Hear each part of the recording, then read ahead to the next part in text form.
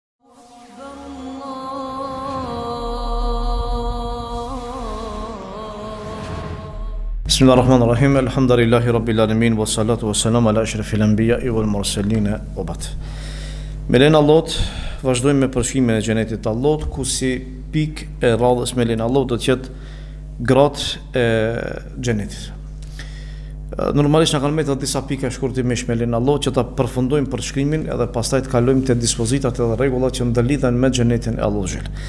Do thot janë edhe disa ligjërata për xhenetin inshallah, shpresoj që mos t'i humbim sepse janë me rëndësi për sa i për sa i përket rregullave dispozitave që ndërlidhen me xhenetin e Allahut. Allahu azze ue xhel besimtarët do t'i martojë me gra në xhenetin e Allahut përveç grave të tyre që i kanë pas në dynja. Ato gra që janë në xhenetin e Allahut janë gra të cilat i kanë cilësitë, karakteristikat edhe pamjen që i përshtatet xhenetit të Allahut edhe dhuntive, mirësive xhenetit të Allahut. Allahu azze ue xhel thot kedhalike wazwajnahum bihurin in.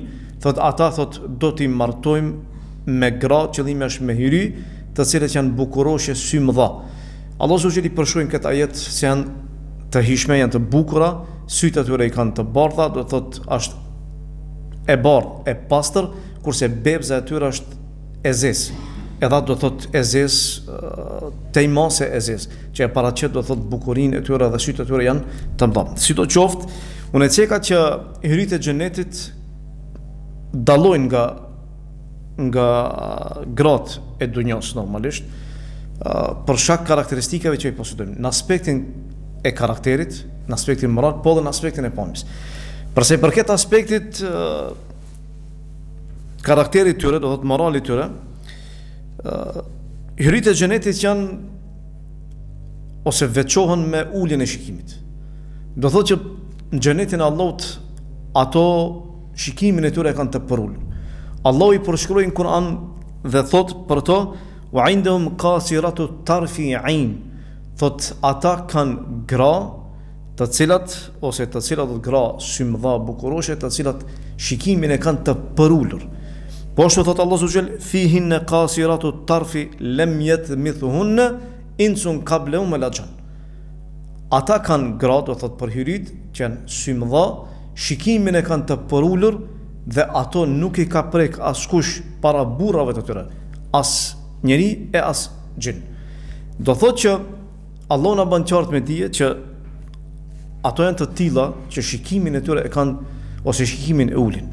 Nuk shikojnë askënd tjetër përveçse burrave të tyre. E ruajnë veten e tyre, nuk e shfaqin bukurinë e tyre para tjerëve, përveçse para burrave të tyre dhe janë gra që nuk i ka prek askush para se t'i preke burri i saj, që do të vijë në xhenetin e Allahut. Po ashtu të gjitha janë të dashura, të dashuruara. Të dashura të dashuruara do thotë që i duan burrat e tyre dhe burrat i duan ata. Janë të dashme për burrat, Dhe ndjenja e tyre për burrat e tyre shumë e madhe. Allahu subhanahu wa taala thot inna anshana hunna insha. Thot ne i kemi krijuar ato në një krijim të ri. Wa ja'alna hunna abkara dhe i kemi bërë që të jenë beqaresha, uruban atrabe, të dashuruara për burrat e tyre dhe të një moshe. Do thot që ato janë të tilla që i duan burrat e tyre dhe po ashtu burrat e tyre i duan ata, shkaku i karakterit, i sjelljes, moralit dhe pamjes që e kanë ato. Po ashtu Allahu i përshkruan që janë khairatun hisan. Khairatun hisan komenti i ulemave është që morali i tyre është i lartë.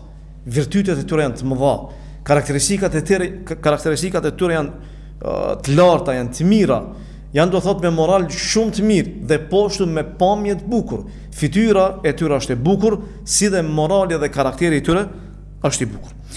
Po ashtu Dijetarët thonë që hyritë e xhennetit nuk i shfaqin stolitë e tyre. Stolitë e tyre do të jenë stoli që i mbajnë vetëm se për burrat e tyre, pamja e saj, bukuria e saj.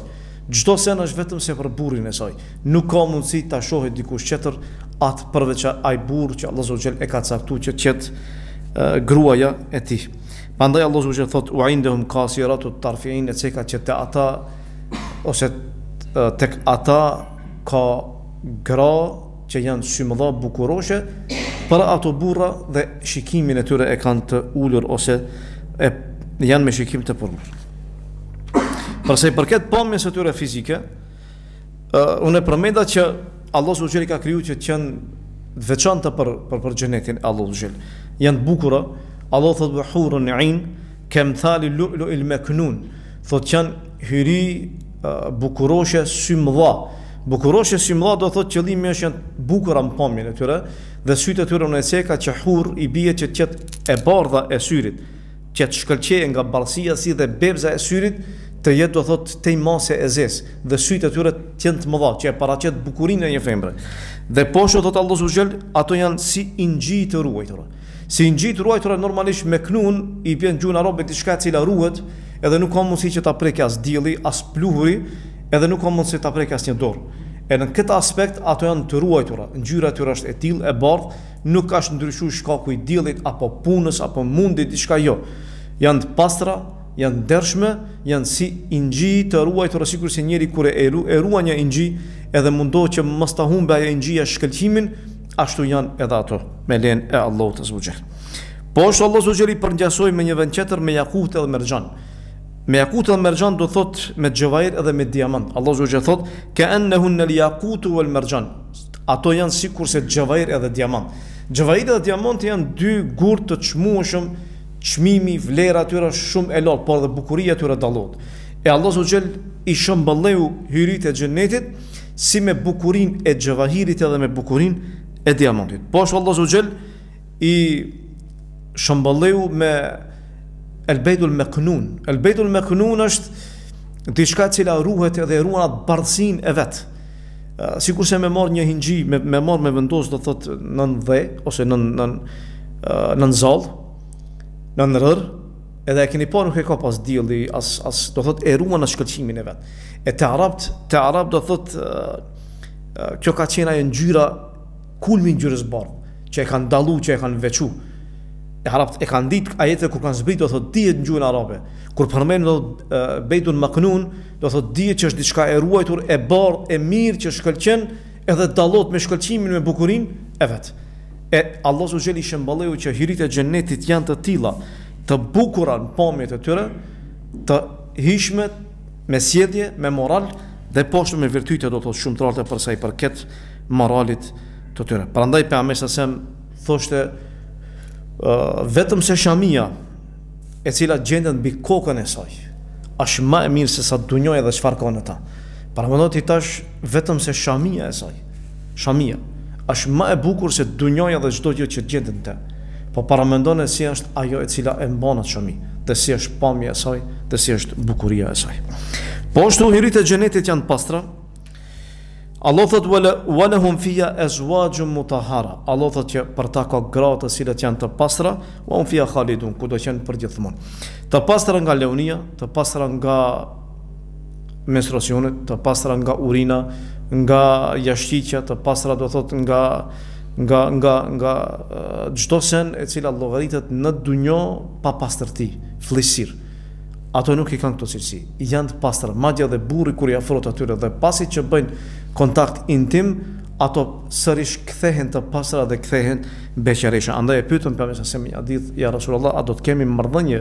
E pyetën për marrëdhënien në xhenet, Pejgamberi selam ja pohoi që do të ketë dhe Pejgamberi selam po ashtu e pohoi që pasi që njeriu kryen marrëdhënie, ajo kthehet në gjendjen e mëparshme që ka qenë do thotë beqareshë si dhe e pastër me lejen e Allahut azza wa jall.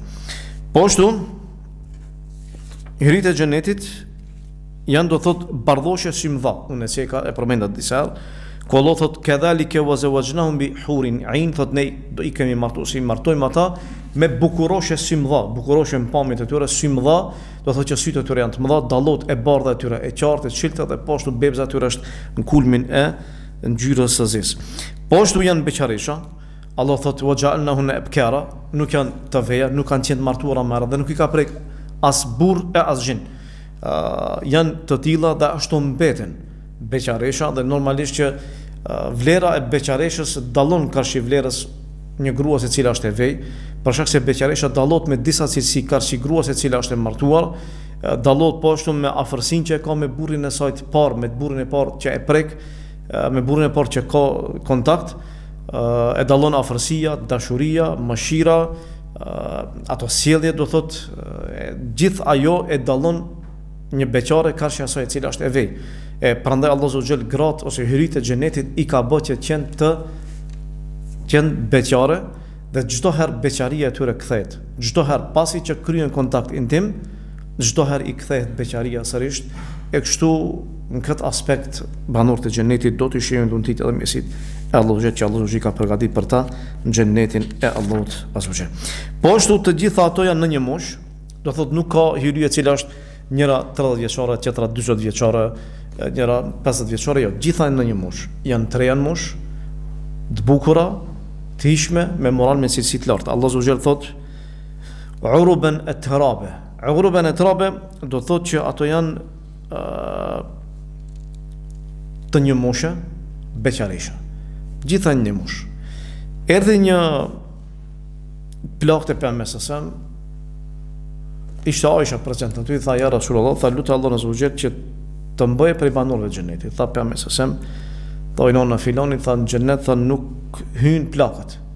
Edhe Pejgamberi salallahu alejhi ve selem siç përshkroi Aisha thotë doli edhe shkoi u fal. Dhe pasi që u kthye i tregoi Aisha që ajo grua shkaku i fjalëve që i tha Pejgamberi salallahu alejhi ve selem e ndjeu veten keq. Normalisht që me i thonë që nuk ka plaka në xhenet është problem. E i tha Pejgamberi salallahu alejhi ve selem ashtu është sepse në xhenetin e Allahut nuk ka plaka. Xhenetin Allahut kur hyn ato shndërrohen në beqaresha. E do thot pasi që kanë qenë plaka Kur hyjnë xhenetin Allahut shndërrohen beqaresha, pasi që kanë qenë të sëmura, do t'ju largohet sëmundja e tyre do të kthehen të shëndosha, pasi që kanë qenë me pamje fizike të lodhur në atë aspekt, do thotë pamje fizike të shëndosha, të trasha, gjitha do të kthehen të bukura në një mosh që syri i banorëve xhenetit të kënaqet ose burri i tyre të kënaqet me to, me pamjen e tyre. Po ashtu hyrit e xhenetit Ajo që është interesant është që xhelozojnë për burrat e tyre në dunja. Ka një hadith prej Pejgamberit salallahu alejhi ve selem që e transmeton Muadhi radhiyallahu anhu thotë që gruaja prej hyrive xhenetit thotë mos ë uh, ose realisht thotë nuk ka Grua, e cila e lëndon burrin e saj në dunja, vetëm se gruaja e tij nga hyritë e Xhennetit thotë, Allahu të vraftë, ai është musafir te ti dhe shumë shpejt pritet që të kthehet tek ne. Do thotë, hyritë e Xhennetit, atë grua e cila e lëndon burrin e saj në dunja. I thotë, Allahu të vraftë, ai është musafir te ti. Do thotë, dija vlerën. Dija rëndësinë burrit tënd dhe mos e lëndo sepse ai është një kohë te ti pastaj do të kthehet tek ne e do thotë që në këtë rast ato xhelozojnë për burrat e tyre që i kanë normalisht që do të jenë burrat e tyre në xhenetin e Allahut azze ue xhel Kjo është e pika e parë. Pika e dytë për sot është gruaja e besimtarit në dunja do të jetë edhe gruaja e tij në ahiret nëse ka qenë e ndershme dhe besimtare. Edhe nëse ata dy janë prej banorëve të Xhenetit të Allahut Azza wa Jall. Kur besimtari hyn në Xhenetin e Allahut, nëse gruaja e tij ka qenë e ndershme, me lejen e Allahut, edhe ajo do të jetë prej banorëve të Xhenetit bashkë me burrin e saj. Allah thot Xhenetu Adinin yadkhulunaha wa man salaha min abaim wa azwajim. Thot Xhenetin e Adnit do të hyjnë ata dhe do të hyjnë bashkë me ta prindërit e tyre dhe gratë e tyre që kanë qenë në rrugën e drejtë. Allah Azza wa Jall thot që për Ata që hyjnë do të qëndrojnë me gratë e tyre. Këto gra nuk janë hyrit e xhenetit. Se ka dallim, hyrit e xhenetit janë diçka tjetër. Gratë e dunjas do të jenë gratë e dunjas. Gruaja e dunjas është më e mirë se sa hyria e xhenetit. Gruaja e dunjas do të jetë më e mira se sa hyria e xhenetit. Pasi që hyrit e xhenetit janë të tilla, paramendo si do të jenë gratë e xhenetit të Allahut, që janë gratë që, që i kemi pasur ose që i kemi në dunja. Allah i përshkruan burrat dhe gratë që do të jenë në xhenetin e Allahut se si do të kënaqen atje dhe si do të dëfrejnë atje dhe do të angazhohen me kënaqësi. Allah thotë inna ashabel jannati al yawma fi shughulin fakihun thot banorët e xhenetit janë të angazhuar me kënaqësi. Hum wa azwajuhum fi dhilalin ala al araiki muttakiun. Ata dhe gratë e tyre qëndrojnë nën hije të mbështetur në kulltuk. E ata janë kënaqësi pas kënaqësie. Qëndrojnë me familjet e tyre, me fëmijët e tyre që i kanë pas në dunja dhe janë prej banorëve të xhenetit, gjithë do të qëndrojnë të lumtur dhe të kënaqur xhenetin e Allahut. Mirpo, nëse një grua është martuar më shumë se sa me më shumë se me një burrë, shembull e ka pas një burrë, pastaj i ka dek burri ose është nda prej burrit, pastaj martohet me një burrë tjetër. Normalisht me atë burrë që ndahet, dihet do thotë se Me atë burrë që është nda, më nuk ka niqah, edhe nuk e ka burrë. Po me burri i cili do thotë, me burrin i cili ka qenë i marrë, ka qenë e martuar me të dhe ka vdek, me cilin do të jetë. Janë disa mendime të ulemave, duke u bazuar disa hadithe që kanë ardhur edhe pse në ato hadithe ka dobësi. Çështja e parë është që gruaja do të jetë me burrin e fundit që e ka pas në dunja. Do thotë e ka pas një burrë, është martu, pastaj është i ka vdek burri, pastaj është martu me tjetër. Sipas këtyre gjurmëve që kanë ardhë, që e transmiton një prej haditheve e transmiton Ummu Derda, pasi që ka ndru jetë Ebu Derda, thua që Muavija e ka propozu për grua, mirëpo ka refuzu dhe thot që e kam dëgju Ebu Derdan duke thonë që gruaja do t'jetë me burrin e fundit të saj, që e ka pos do thot në dunjo, e s'ka dosht që ta ketë Muavijen për burrë, Po ka dashtë që Ebu Derdan burrin që e ka pas në dunja të parin me ta t'jetë në xhenetin e Allahut azze ve xhel. Dhe po ashtu me një hadith tjetër thotë e kam dëgju Ebu Derdan duke thënë që Pejgamberi sa sem ka thënë cila grua ose cilës grua i ndron jetë burri i saj dhe ajo martohet pas tij ajo i takon burrit të saj të fundit. E kështu që sipas këtyre haditheve, edhe pse këto hadithe kanë dobësi dhe nuk mund që të merren për bazë plotësisht sipas këtyre haditheve na bëhet qartë me dije që ajo do të jetë me burrin e fundit të saj. Sipas një hadithi tjetër, është nëse gruaja martohet me më shumë se një burrë, nëse ata burrat gjithë janë prej banorëve të xhenetit, me cilin prej burrave do të jetë. Ka ardh me një hadith që e ka pyet Ummu Habibe, e ka pyet Pejgamberin sa sem i ka thënë ja Rasulullah, një grua e cila i ka pas dy burra në dunja, me cilin burrë do të jetë në xhenet, me cilin do thotë do të jetë në xhenet pasi që Gjithë kanë hi n'xhenet thot Pejgamberi sa sem thot me at që ka pos moral më të mirë. Pejgamberi sa sem e ka ditë mirë se Ummu Habibe ka qenë e martuar ma herët. Dhe pastaj është martuar me Pejgamberin sa sem edhe e ka ditë mirë se çfarë qëllimi ka normalisht që a ka ma të mirë se pejgamberi i Allahut moral. Jo. E ka thon ti je gruaja ime në dunja do të jesh edhe në ahiret me lejen e Allahut. Për shkak se këtu në pyetje është morali më i mirë. Kush ka pos moral më të mirë me at do të jetë me lejen e Allahut azze ve xhel. E më mirë se më i mirë se Pejgamberi sa sem nuk ka mundësi me qenë askush moral. E kështu që do të jetë Ummu Habibe me Pejgamberin sa sem. E thonë ulemat që prej këtu e bazojnë uh, hadithin ose çështjen që ka mundësi me qenë me atë person që ka pas moral më të mirë Nëse gjithë kanë hi n'xhenetin e Allahut, burrat e saj, ka vdek, ka hi n'xhenet, pastaj është martu me tjetër, ka vdek, ka hi n'xhenet, edhe tjetri burrë, e ajo zgjedh, cili ka pos moralin më të mirë, me ata do të jenë n'xhenetin e Allahut, do t'jetë në xhenetin e Allahut. Po Allah e di ma s'miri sido qoftë, kjo është një çështje që është e gajbit, këto hadithe unë e ceka që janë hadithe që kanë dobësi n'to edhe është problematik që të merren si bazë të plotë. Mirëpo ulemat i përmendin edhe i cekin se mund t'jetë si mundësi, Të ekzistojë që të jetë ashtu, po Allahu e di ma së miri. Sa do të jetë numri i grave ose numri i bashkëshorteve për burrat e tyre në xhenetin e Allahut azze ve xhel.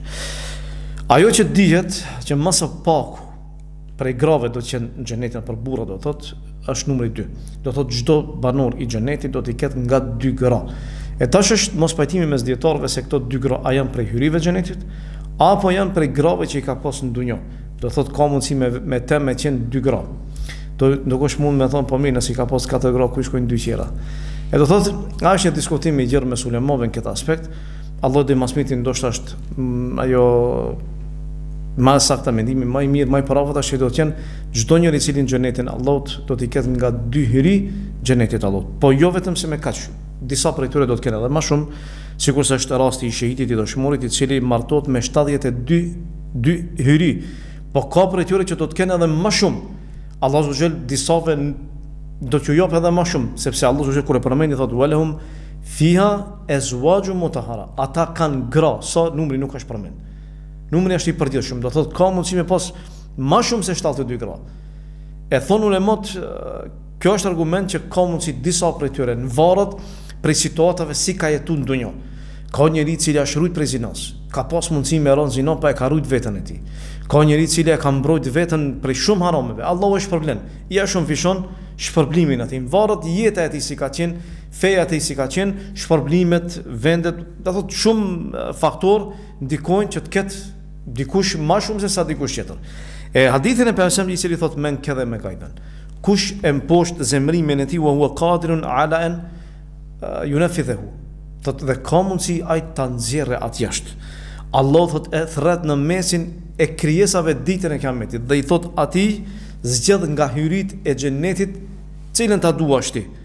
Edhe Allahu e marton prej hyrive xhenetit sa do.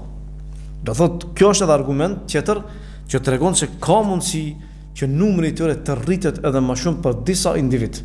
Do thot që esenca sipas atyre që thonë që do të jenë prej hyrive xhenetit që, që do të jenë do thot dy hyritë e xhenetit është ma së paku Që me një burrë në xhenet janë dy, numri shtohet për shehidin do të jetë shtatëdhjetë e dy e për disa të tjerë numri do të jetë edhe më shumë edhe më shumë e din Allahu xhel. A do të ketë kontakt intim në xhenetin e Allahut? Po. Ka ardhë disa hadithe ku pejgamberi a.s. e përshkruan që burrat me gratë e tyre do të kenë intim kontakte intime do të thotë në xhenetin e Allahut. E pyetën ja Rasulullah i thanë a i afrohemi grave tona në në xhenet? Tha Pasha atë që shpirti im është në dorën e tij, tha burri i afrohet tha gruas për një ditë i afrohet njëqind grave. Do thotë, pejgamberi a.s. me këtë na bëri me dije se njeriu dallon prej dunjas, dhe fuqia e tij nuk është sikurse e dunjas, fuqia atje do të jetë diçka shumë më ndryshe, është më e madhe. E pyetën pejgamberin kur foli pejgamberi i Allahut për për gratë edhe për kontaktin intim për xhenet, tha që besimtarit në xhenet i jepet aq forc, aq e aq forc, do thot i jepet shumë fuqi kur është në pyetje kontakti intim. E i thanë ja Resulullah, a do të kemi mundësinë atë? I tha pejgamberi alejhi selam i jepet burrit sa fuqi sa 100 burra. E kështu që do thot fuqia e tyre do të dallon dhe do të ketë mundësi që t'i afrohet më shumë se një gruas në xhenetin e Allahut të azze ue xhel grave të tij normalisht janë në xhenetin e Allahut. a do të ketë shtatzani në xhenetin e Allahut? Normalisht që në xhenetin e Allahut do të ketë çdo sen që njeriu e dëshiron edhe e paramendon edhe e do. Çdo sen që e do, Allahu azze ue xhel ia mundëson atje. Për sa i përket shtatzanisë, në esencë nuk ka shtatzani, uh, mirëpo nëse njeriu e do që të ketë fëmijë dhe gruaja e tij të jetë shtatzane, atëherë Allahu azze ue xhel ia plotëson atë dëshirë. Në një hadith ka Pejgamberi alejhi selam i cili thotë që besimtari kur dëshiron që të ketë fëmi, Atëherë shtatzania e tij ose shtatzania, lindja edhe rritja e tij bëhen për një kohë, menjëherë. Do të thotë edhe shtatzania, po edhe lindja, po edhe rritja e tij bëhet për një kohë. Edhe ai çfarëdo fëmije zgjedh, djalë, femër, binjakë, Çfarë don ai do thot, Allahu azze ue xhel do t'ia mundësojë atij. Përsa i përket, kjo është pika e fundit, dhuntive dhe begative të Allahut azze ue xhel. Normalisht që begatitë dhe dhuntitë e Allahut janë shumë. E kemi fol disa argumente kemi përmend, por shkurtimisht do t'i ripërsëris edhe njëherë shkurtimisht me lejen e Allahut. Përsa i përket dhuntive mirësive xhenet banorëve të xhenetit, është që ata do të vendosin ku duan ata. Vendin ku e dojnë, ku ku duan ata,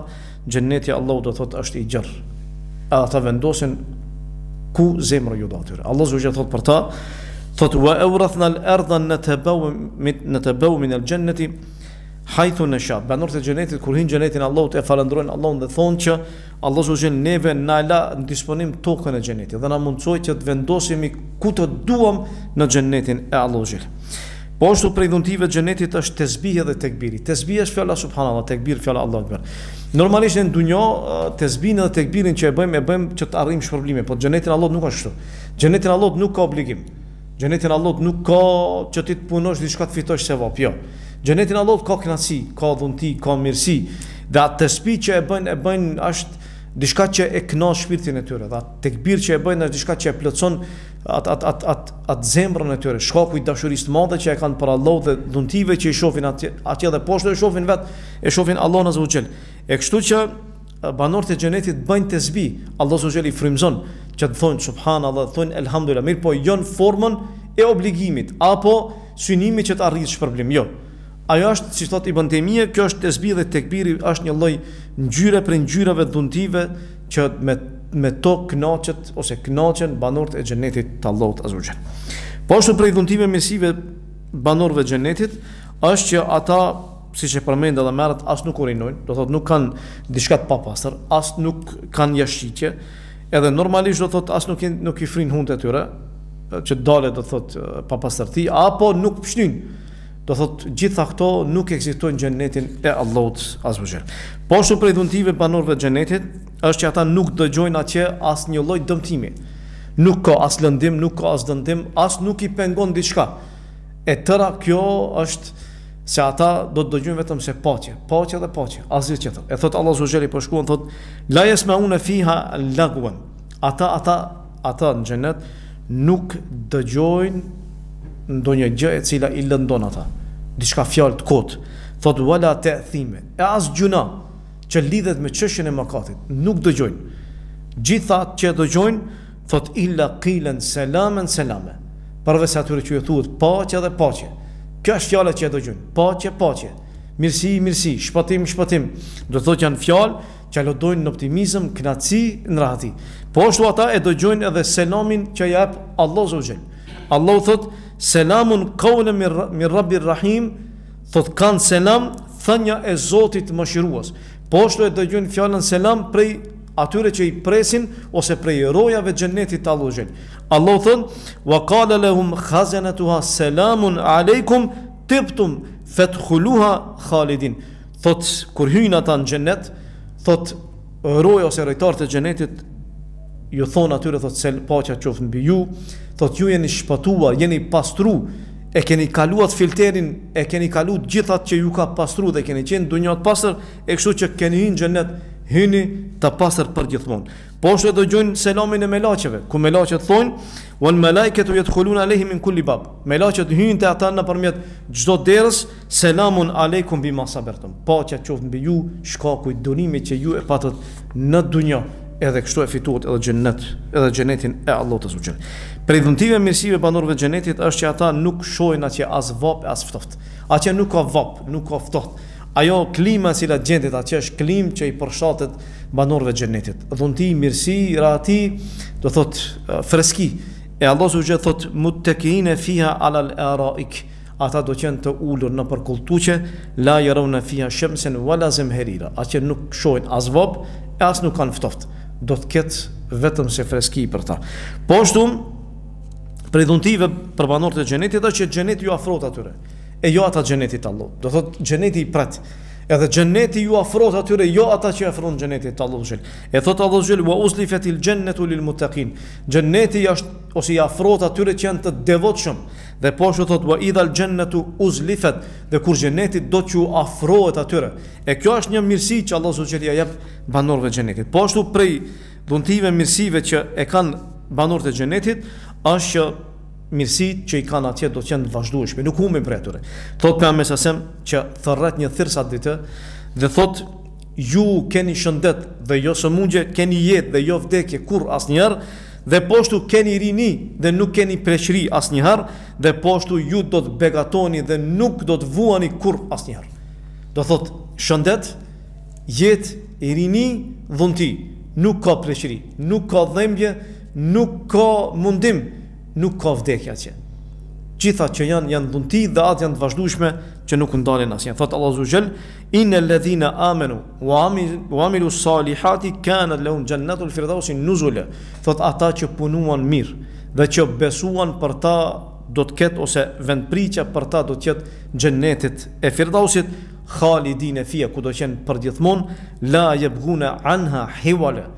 dhe nuk duan që të dalin prej aty apo t'ju ndryshohet vendi atyre.